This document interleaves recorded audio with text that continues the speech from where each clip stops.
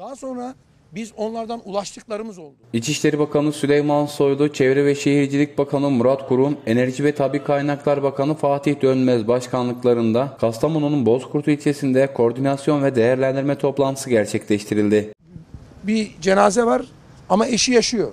Kendisi vefat et, eşi vefat etmiş, kendisi yaşıyor.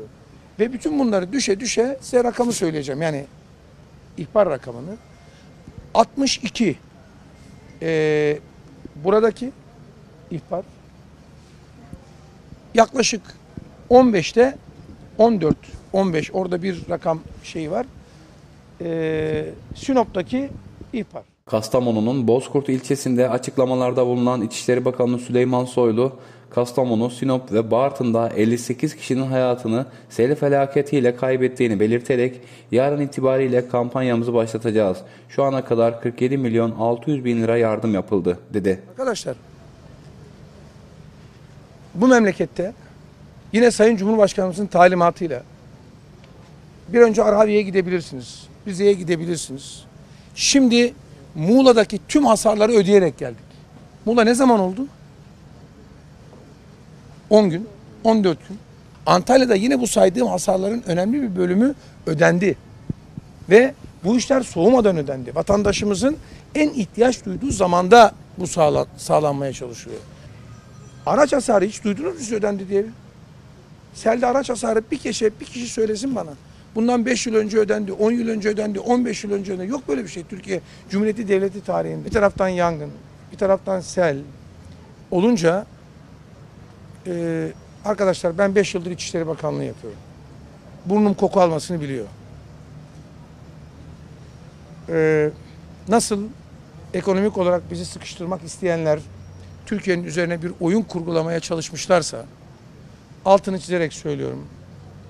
Batı'nın ve başka bir yerlerin bir takım istihbarat yapıları ciddi bir provokasyon içindedir. Buradan milletimize seslenmek istiyorum. Bakın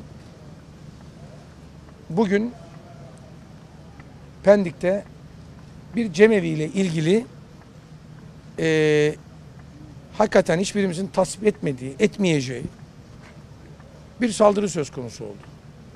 Arkadaşlar ben bu saldırıları ilk kez görüyor değilim.